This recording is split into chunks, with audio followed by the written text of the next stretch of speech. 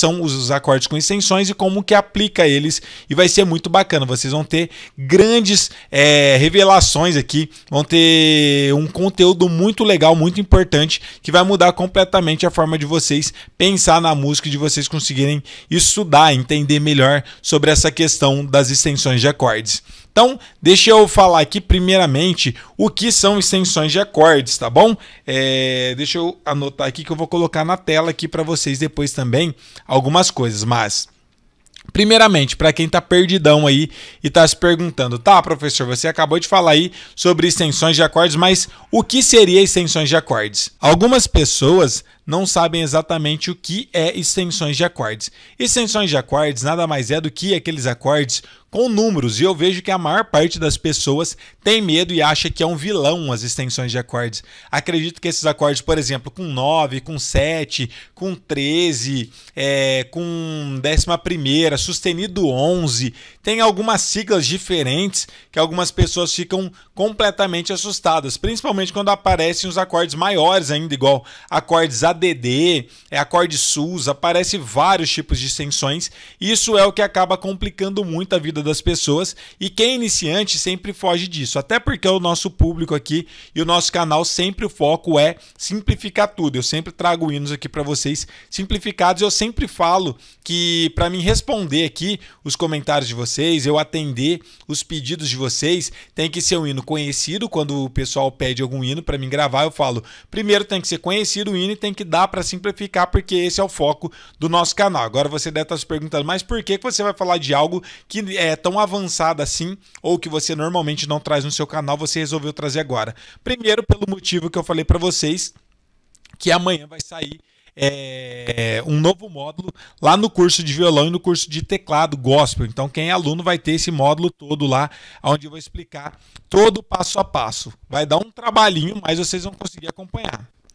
Ixi, tá piorando, gente. Vamos ver se vai melhorar aqui. Acho que tá melhor. É, mais ou menos. Então, galera, como eu disse para vocês, o intuito é vocês entenderem um pouco mais sobre esses acordes. Não é porque eu não ensino aqui, que eu sempre tento simplificar para vocês, que vocês têm que sempre tocar a versão simplificada. É que meu público é de músicos é, mais iniciantes, mas uma hora ou outra vocês vão ser músicos mais avançados e vocês vão ter que estudar isso. Eu só não trago porque meu público é de iniciante, sempre está reciclando, aparecendo novos alunos. Oi? Não, tá normal deve ter dado uma picotada, mas aqui tá, tá normal. Então, o que, que acontece, galera? É, vocês precisam aprender a entender muito bem sobre esses acordes. Eu vou falar tudo sobre eles aqui hoje e como aplicar todos eles também, tá bom? Então vamos nessa e não esqueçam daquele likezão. Vamos tentar bater 50 likes na nossa live de hoje. Então, independente da rede social que você esteja, acompanhe aí junto com a gente e não esqueça de deixar o seu likezão. Então, galera que está na Twitch, Galera que tá aqui no Instagram e a galera que tá no YouTube também, deixa seu like. Tá horrível, né, o som? Galera, desculpa aí, eu tô vindo aqui no meu fone que tá falhando de vez em quando esse som, mas isso vai ser resolvido amanhã, tá bom? É, então vamos nessa, olha só. Primeira coisa, extensões de acordes, como eu disse para vocês, são aqueles números que aparecem é, na frente dos acordes. Por exemplo, uh, deixa eu anotar aqui. Deixa eu fazer uma coisa aqui para melhorar isso aqui, que Deus me livre. Som, som, som, som, som, som. Som. Som, som, som, som, som. Acho que agora não vai parar mais, gente, ó. Prendi o cabo aqui, ó. Acho que é o cabinho que tá meio zoado. Agora tá tudo certo. Pelo menos eu espero. É só eu me mexer um pouco que ele fica ruim. Mas vamos nessa. Olha só. Extensões de acordes. Vou colocar alguns exemplos aqui para vocês. Pode aparecer um acorde dessa forma aqui, ó, vou falar sobre os acordes com sétima primeiro, que são as tétradas que a gente chama, ó, sétima. Ó, acordes com sétimas. Pode existir o acorde, por exemplo, vou dar exemplo tudo em dó aqui só para vocês entenderem, mas pode ser qualquer tipo de acorde. Existem quatro famílias de acordes com sétima, por exemplo, podendo ser um acorde, por exemplo, um dó com sétima maior, pode existir um acorde dó com sétima só.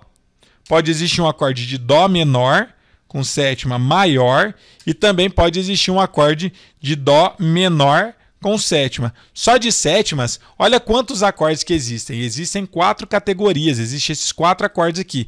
Muita gente só conhece o acorde maior. ou acorde menor, mas não conhece os acordes com sétima. Ou no máximo conhece esse acorde com sétima aqui, que é o acorde de preparação, mas os outros não conhecem. Então é importantíssimo vocês conhecerem todos esses acordes, que são as tétrades, porque isso vai mudar completamente a forma de vocês tocar e já já eu vou explicar e falar exatamente quando vocês vão usar e qual a vantagem de vocês conhecer esses acordes. Outro exemplo, existe acordes também com nona, por exemplo, um dó com nona, existe um acorde, por exemplo, de dó menor com nona, pode existir um acorde de dó com sétima e nona, então vai existir vários tipos de extensões de acordes na hora de vocês estarem tocando. Existem alguns acordes também com sexta, que seria, por exemplo, Dó com sexta, ou pode ser um acorde de Dó menor com sexta, ou pode ser algumas outras categorias de acordes, por exemplo, Dó é, com sustenido, Dó com sétima, e aí entre parênteses sustenido 11, por exemplo. Sustenido 11 e fecha o parênteses.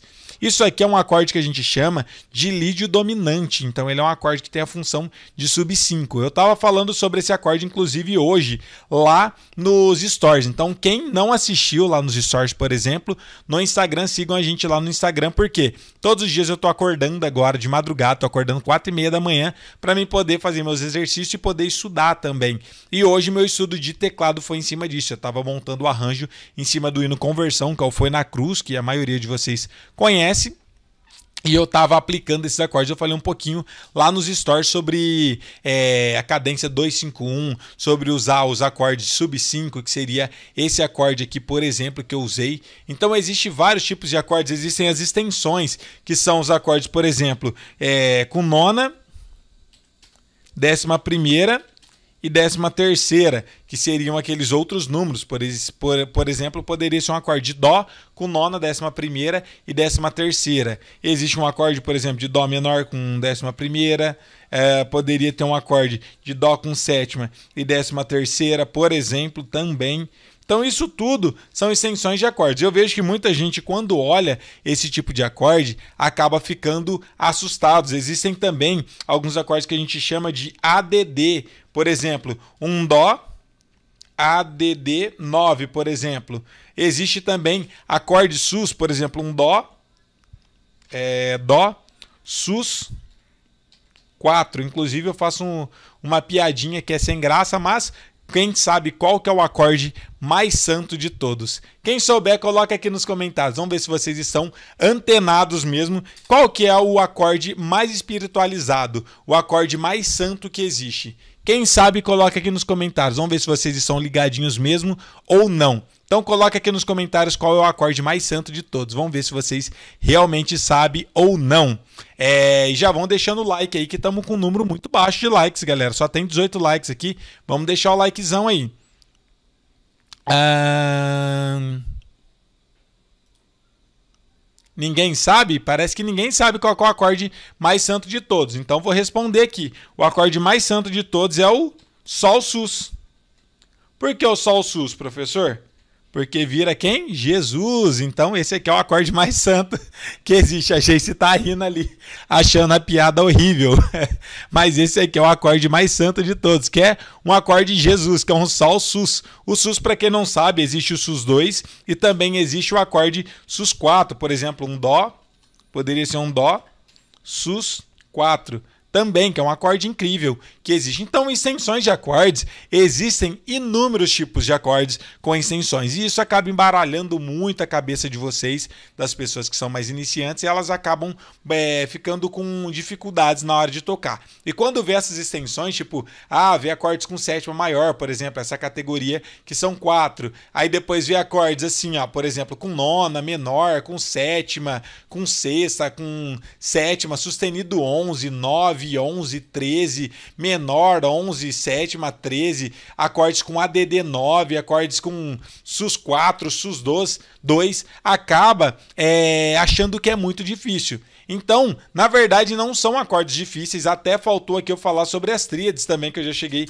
falar sobre os tipos, que são as tríades também maiores, que são os acordes maiores que todos vocês conhecem, mas são os acordes menores, que todo mundo conhece, mas também existem os acordes aumentados, e também existem os acordes diminutos. Só que só os acordes diminutos, para vocês terem uma ideia, existe três categorias, que são os acordes diminuto, tríades, existe o acorde meio diminuto, é meio diminuto, e existe também o acorde de diminuto completo.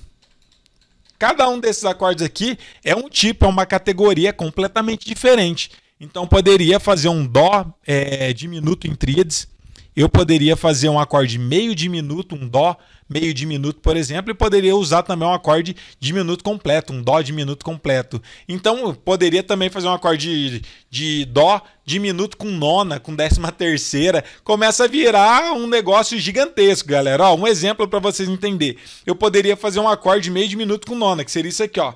Dó menor com sétima, aí entre parênteses, bemol, 5, fecha o parênteses com nona poderia fazer um acorde desse jeito e colocar ainda mais uma décima terceira, se eu quisesse. Isso tudo aqui ó, é só um acorde. Isso faz parte das extensões de acordes. É exatamente sobre esses acordes que a gente vai estar falando aqui hoje. Então eu trouxe todos esses exemplos só para vocês entenderem é, o que são extensões, porque senão eu coloco aqui o título, o que são acordes com extensões e suas, é, suas aplicações, vocês vão ficar olhando para minha cara e falando o que, que é extensões de acordes. Agora vocês já sabem o que seria acordes com extensões. Nada mais é do que esses números que aparecem aqui, é, que aparece após os acordes, tá bom? Mas não se, é, não se deixa levar e achar que é algo muito difícil, que é algo muito complicado, que na verdade não é. Então eu não gosto muito de trazer esse tipo de conteúdo que é muito avançado aqui, porque tem muita gente que é iniciante,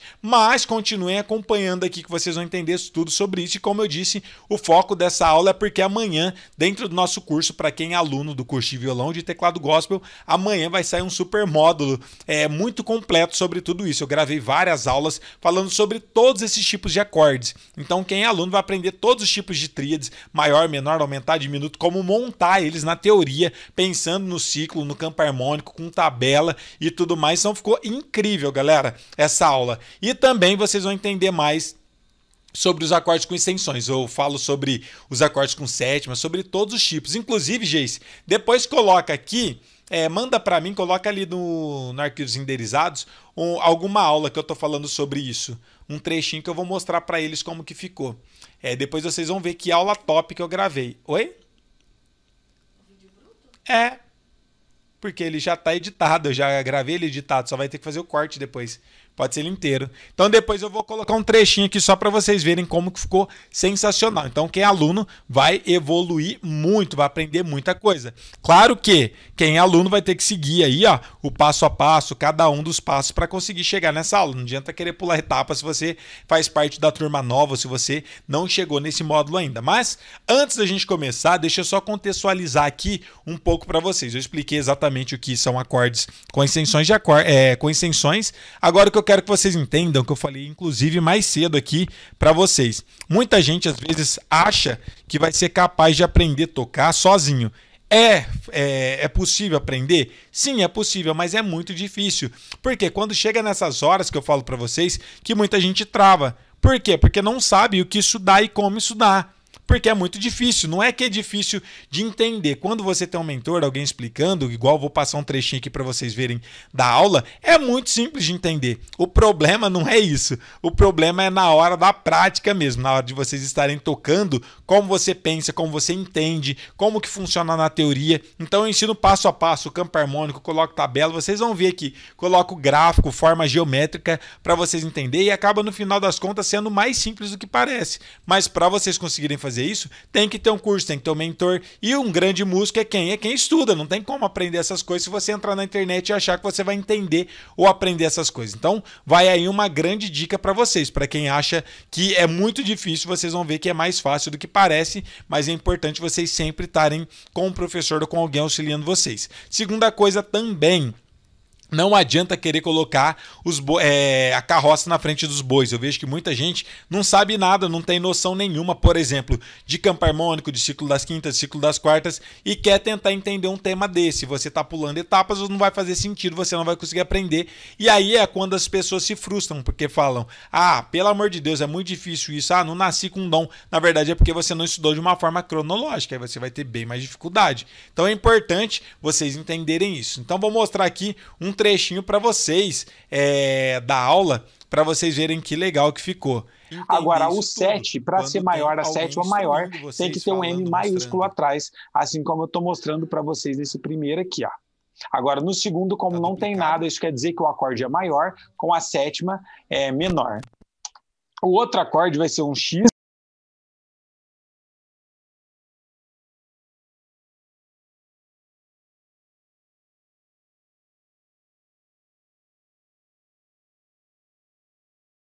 escreveria é, esse acorde. Então aí, ó, pra vocês só para vocês terem um saberem. Então é desse jeito aqui, ó, um acorde, por exemplo, de dó com sétimo maior, seria nota dó. Funciona. Ó, aqui fiz várias tabelas, ficou bem incrível aqui, ó, falando sobre vários acordes ali, é nona, décima terceira, como que pensa, como que faz. Então aqui é só um gostinho para vocês verem como que funciona. Então tô de volta aqui na tela. Então isso que eu falo para vocês, que eu vejo que muita gente às vezes não se desenvolve porque não sabe nem que existe essas coisas. E às vezes a gente precisa se forçar a tentar evoluir também. Não adianta ficar sempre no beabá, só no feijãozinho com arroz, só tocando as músicas simplificadas, evitando fazer pestanas, evitando tocar em tons bemóis ou sustenidos no teclado. Não, a gente tem que enfrentar essas coisas e poder estudar para poder se desenvolver cada vez mais. Então agora eu vou falar um pouco sobre esses acordes. Por que que existe esses acordes com nona, décima terceira, décima primeira, diminuto, aumentado, sétima maior, sétima, tudo esse monte de tipo de acorde adicionado, ADD, é, SUS, esse monte de nome caracteriza os tipos de acordes. Então existem vários tipos de acordes.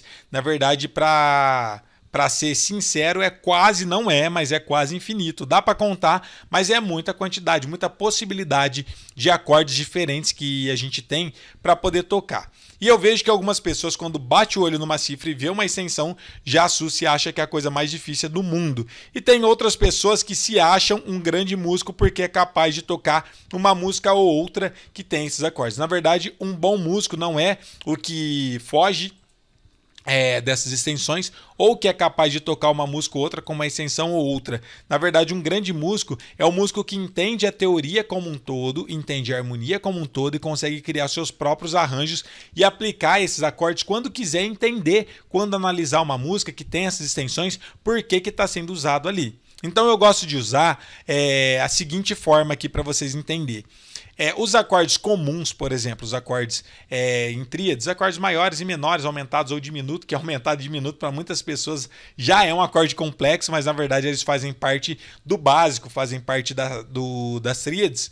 Eu percebo que muita gente é, só conhece os maiores e os menores. E quando toca, fala, ah, tá bonito, beleza. Mas quando vê, isso acaba fugindo das extensões. Mas as extensões nada mais é do que um molho, do que um tempero, ou a gente pode pensar como uma coloração. Ele é um enfeite, um arranjo que você pode colocar dentro da música. Só que hoje mais cedo, quem assistiu a live vai entender o que eu tô falando. Quem não assistiu, sugiro assistir a live que a gente fez hoje mais cedo. Quando terminar essa, vocês entram aí na rede social que vocês estiverem e assistam a outra live que eu falei muito sobre isso. Eu falei sobre estilo musical musical, que eu falei que música é como se fosse. É, é como se fosse, não, música é linguagem. E o que, que acontece com linguagem? Para você tocar bem, você precisa ter ser fluente. Vamos supor, você fala várias línguas, mas uma pessoa que estuda muito, uma criança, vou dar um exemplo, é, tem mais facilidade do que a gente para aprender uma língua nova. E na prática, eu vou dar um exemplo para vocês. Quando vocês vão, é, vocês nasceram, quem é brasileiro aqui, é, nasceu no Brasil, fala muito bem português, mas quando precisa falar espanhol ou inglês, alguma outra língua, às vezes estuda um pouco, até entende, até consegue se comunicar, mas quando a pessoa ouve, ela sabe exatamente que você não é nativo daquela, daquele país. Vou dar um exemplo. Quando vem um gringo aqui, a gente chama de gringo, pessoas de outros países que vêm aqui para o Brasil. Se você vê um, por exemplo, um americano falando português, você sabe que ele não é daqui, você entende o que ele está falando, consegue conversar com ele, mas no final das contas você sabe que ele não é nativo porque ele não fala tão perfeito e ele acaba tendo sotaque. É a mesma coisa das extensões de acordes. Na prática, as extensões de acordes não é para você usar o tempo todo. Vai depender muito do estilo de música que você vai estar tá tocando para você usar mais ou menos. Então vou dar alguns exemplos para vocês. Os hinos worship, mais pop, esse tipo de música, normalmente são acordes simples, acordes maiores e menores, e às vezes tem uma nona, um ADD 9, um acorde com sétima, no máximo. Agora, se vocês forem tocar, por exemplo, um jazz ou se for tocar uma MPB, uma bossa nova, um samba, vai ter extensões o tempo todo. Por quê? Isso faz parte da linguagem, isso que caracteriza aquele estilo musical. Cada estilo musical vai ter os tipos de acordes que corresponde e faz parte daquela linguagem.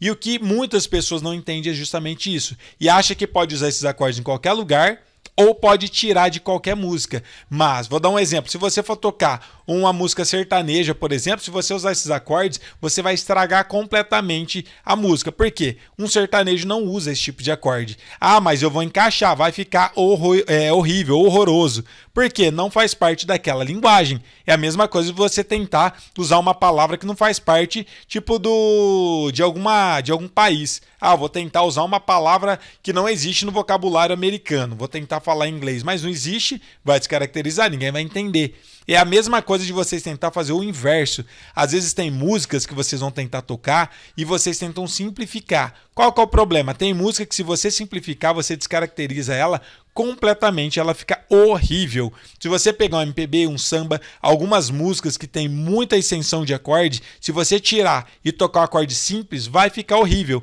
Ah, mas você não fala que dá certo? Dá, mas depende da música, depende da linguagem. Lembra aqui que eu falei agora anteriormente?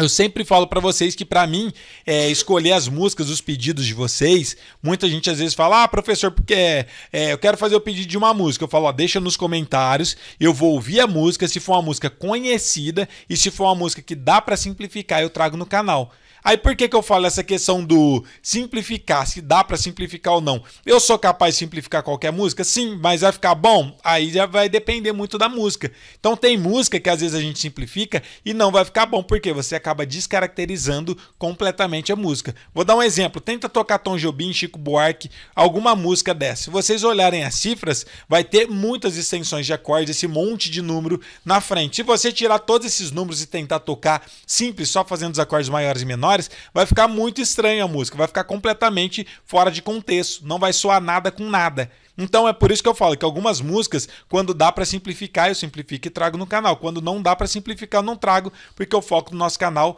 é músicos mais iniciantes a focar nesse tipo de conteúdo. Então, é muito importante vocês entender as extensões e não achar que é um vilão mas vocês precisam se aprofundar muito em harmonia em alguns assuntos para poder entender melhor sobre essas extensões. Não é simplesmente, ah, vou entrar na internet, vou aprender uma musiquinha que tem uma nona, uma sétima. Isso não é nada, não muda em nada na sua vida. O que vai mudar é você entender, ah, um acorde com sétima, ele é um acorde dominante. Por que, que ele é dominante? Porque ele tem uma sétima. Então ele prepara quem? O quarto grau. Ah, mas e se ele tiver uma nona maior? Ele é o quê? Ele também é um dominante, ele é um mixolídio. Ah, mas e se ele tem uma nona menor ou uma nona aumentada? Ele já vai ser um acorde acorde dominante alterado, que ele vai chamar um acorde menor. Ah, e se o acorde tem sétima, décima primeira aumentada, ele vai ser um acorde de sub 5, um acorde lídio dominante. Então ele vai sempre chamar meio tom. Existem várias regras. Ah, se ele é diminuto, com nona, o que, que ele vai fazer? Depende, existem várias funções para ele, depende do contexto, aonde ele tá, para onde ele vai, qual é o acorde que vem antes, qual é o acorde que vem depois, que isso tudo vai ditar qual que é o caminho dele, qual que é a funcionalidade daquele acorde. Então é muito profundo para quem quer se tornar um grande músico, como eu sempre falo para vocês, tem que estudar bastante porque existe muita coisa para a gente estudar. Então, é, serve até como um chacoalhão aqui para quem tem acha que já sabe muita coisa, ou para quem tá com o corpo mole, tá estudando muito devagar. Saibam que música é infinito, existe um universo gigantesco para vocês estudarem. Essa parte que eu tô falando para vocês é chamado de harmonia, esse tipo de estudo. Eu estudo a minha vida inteira, eu dedico meu tempo, minha vida para estudar harmonia e improvisação, que é os temas que eu mais estudo durante a minha vida toda dentro da música. E eu só sei isso aqui, ó, só um, um pouquinho, porque é infinito, existe inúmeras possibilidades. Tem muita coisa que eu tô estudando, inclusive hoje cedo, de madrugada eu estava estudando teclado. Eu estudei muito sobre isso no violão também. Então é importante vocês saberem que existe tudo isso e para quem é aluno saber que logo logo quem for cumprindo todos os desafios, vocês vão conseguir aprender tudo isso também, porque vai fazer parte da grade do curso. Quando eu disse para vocês que o nosso curso era o curso mais completo de todos e que a gente queria músicos independentes e preparados para tocar no reino de Deus, eu estava falando sério. Então, vai ter um módulo inteiro sobre isso, onde eu vou falar sobre todos os tipos de acordes. Agora deixa eu falar um pouco sobre o que é sétima, nona, sobre tudo isso. Cada número que aparece, eles vão ditar qual a função do acorde. Como assim qual a função? O que, que seria a função dos acordes? Cada função vai determinar alguma coisa, mas a grosso modo a gente tem três funções de acordes. Quais são elas? Função tônica, subdominante e dominante. Mas os nomes é só teórico. Na prática, vocês não vão ficar pensando desse jeito. Mas basicamente é o seguinte: a função tônica é o tom da música, ele é o centro tonal, é onde você começa e você termina a música. Esse seria o tom, que é repouso, relaxamento. A função subdominante é de afastamento. Por quê? Se a música só tivesse repouso, não teria movimento. Então, para ter acordes, ter um interesse dentro da música, precisa conhecer também os acordes com função subdominante para ela poder dar movimento. E o acorde dominante, o que, que acontece com ele? Os acordes dominantes, ele serve como tensão. Então tem relaxamento, repouso, que é a, a, função tônica, que é o tom da música, e existe também a tensão, que é o que sempre vai estar tá tensificando para poder voltar para a tônica. E tem o subdominante, que é afastamento. Só essas três funções. Aí você fala, vixe, ficou fácil então. Negativo, porque cada um desses números vai determinar uma função diferente. Então, se o acorde tem, por exemplo, uma sétima, ele é dominante. Mas se ele tiver uma sétima e uma nona menor, Aí ele já é um dominante alterado, ele já vai preparar um acorde menor, por exemplo. Aí se ele é meio diminuto, ele tem função de 2 mas ele também pode ser função de dominante ou também função de subdominante, vai depender aonde ele está sendo aplicado. Então é bem complexo a parte de aplicação. Então isso vocês precisam estudar bastante, mas basicamente extensões de acorde serve não só para enfeitar uma música, mas sim para caracterizar um estilo musical. Então, quem foge de extensões de acordes, quem acha que é muito difícil, quem não foca, não estuda muito, saibam que vocês vão ficar muito limitados. E tem vários cantores que é bem legais de vocês ouvirem para poder aprender, que tem muita coisa, muitas extensões de acordes desse jeito que vocês vão conseguir evoluir bastante. É, tem um cara que eu sigo bastante, que eu ouço muitas das músicas dele.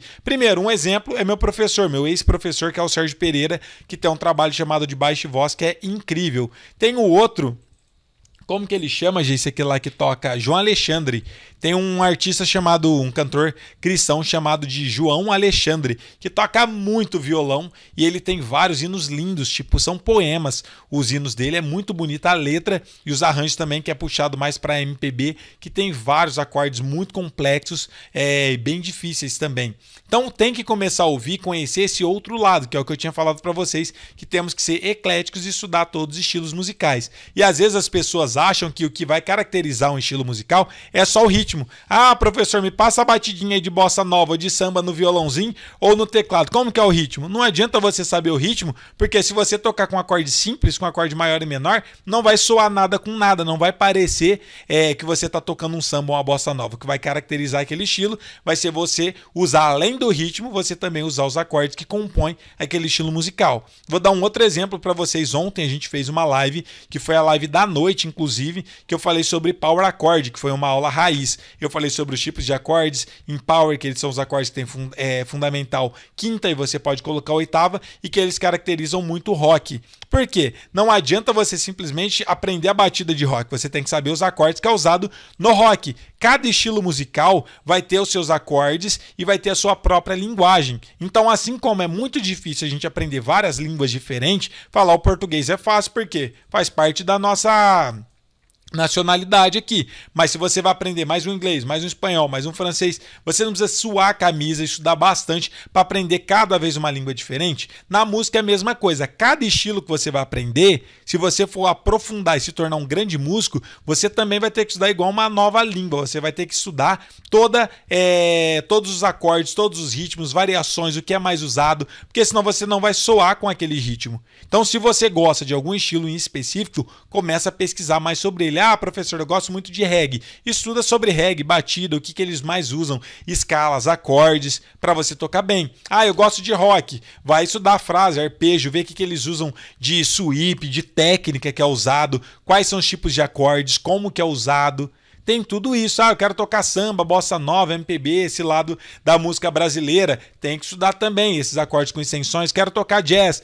Tem que saber muito bem também sobre esses acordes, função harmônica. Então, é muita coisa. Mas eu não estou falando que é muita coisa para poder assustar vocês, não. Peguem isso como combustível para vocês saberem que existe muita coisa e, na verdade, é infinito. E que vocês vão ter que treinar muito para conseguir é, evoluir e se desenvolver o máximo possível tá bom? Então era isso que eu queria trazer para vocês, que o que são os acordes com extensões de acordes, que nada mais é do que esses números. Existem acordes ADD, que são os adicionados que você pode adicionar. Não vou entrar em mérito aqui do que como que monta um acorde ADD, um acorde com sétima, um acorde com nona, um acorde diminuto, até porque isso tudo faz parte da grade do nosso curso. Quem é aluno vai conseguir estudar lá e aprender tudo isso. E quem não é aluno depois é, tenta pesquisar esse tipo de conteúdo ou numa próxima turma quando a gente abrir você fazer parte para poder aprender também. Mas é, existe regras, existem teorias e lógica para vocês poderem montar todos esses acordes. E quem é aluno vai aprender amanhã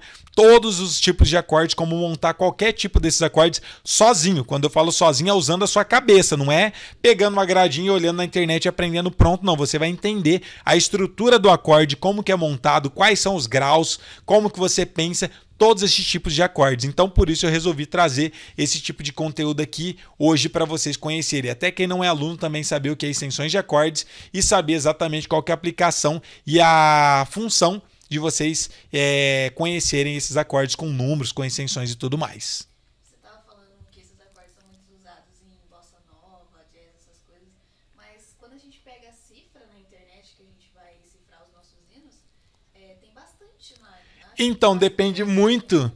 A Jace está falando aqui, ela falou: ah, você está falando que esses números aparecem muito no jazz, na bossa nova, mas tem várias cifras também de hinos que tem esses números. Tem bastante hinos que tem os números também que a gente toca no dia a dia, só que ainda é de uma forma um pouco mais básica, vamos dizer assim. Aparece normalmente mais os acordes com nona e sétima mas você vê pouco, tipo assim, acordes diminutos, acordes sus, sus 2, sus 4, você vê menos acorde meio diminuto, é, acorde alterado. Uh, vou dar um outro exemplo, acorde com décima primeira aumentada. Mas é porque eles são característicos então desses estilos. É, não é que não dá para usar. É que, tipo, o que eu estudo normalmente é tentar aplicar igual. Hoje eu estava aplicando esse acorde com sétima e décima. É, sétima eu usei um acorde com Sétima, na verdade, é um Fá sustenido com sétima, é, décima primeira aumentada, nona e décima terceira, que é o que eu usei no hino do Conversão, que é o hino Foi na Cruz. Ó, deixa eu colocar aqui na tela. Eu estava usando, eu estava estudando, é isso que eu estudo. Para quem tem curiosidade e fala o que, que o professor estuda atualmente, eu aplico esses acordes, eu uso a função, a função harmônica e tento usar da forma mais bonita possível. Então hoje eu estava reharmonizando. Reharmonizar, para quem não sabe, é você criar uma outra harmonia para o hino. Então eu usei esse acorde aqui, ó, que é Fá sustenido. Esse é o verdadeiro palavrão. Fá sustenido com sétima, nona, décima primeira aumentada, que é sustenido 11 e décima terceira. Eu usei esse acorde aqui, ó. Eu usei ele no hino Foi na Cruz, que é a conversão, que é um hino super simples. É por isso que deu trabalho, que eu fiquei aqui a manhã toda treinando. Porque não é só saber fazer o acorde. O acorde eu sei montar. Só que é você achar a voz mais bonito, o voice mais bonito, que encaixa melhor qual o movimento, qual a inversão que vai ficar mais bonito no teclado, por exemplo, é, se vai encaixar bem ou não, eu tenho que fazer testes. Só que é esse que é o meu estudo, é pegar um hino que é muito simples e deixar ele muito mais sofisticado. Não é nem complexo, é sofisticado para ele ficar com um arranjo mais bonito. Então é isso que eu estudo. Inclusive eu tô falando todos os dias lá no Instagram. Então se você não me segue, vai lá assista meus stories todos os dias, porque todo dia de manhã eu vou estar tá estudando algum, algum assunto no violão e no teclado. Eu vou tirar uma hora e meia todos os dias para estudar violão e uma hora e meia para estudar teclado todos os dias e aí eu vou sempre estar tá falando que eu vou estar tá estudando. Então, quem tem curiosidade sobre o que eu estou estudando no momento, todos os dias é só passar lá para saber. Eu também estudei no violão hoje muito modos gregos, eu estava focando muito no modo dórico e também os shapes, os modelos de acorde e também aproveitei para me estudar para montar uma parte do arranjo do hino Ressuscita-me em Finstyle. Então, estou é, montando esse hino e estudei ainda mais modos gregos, modo dórico e os acordes menor com, é, menor com sexta e nona.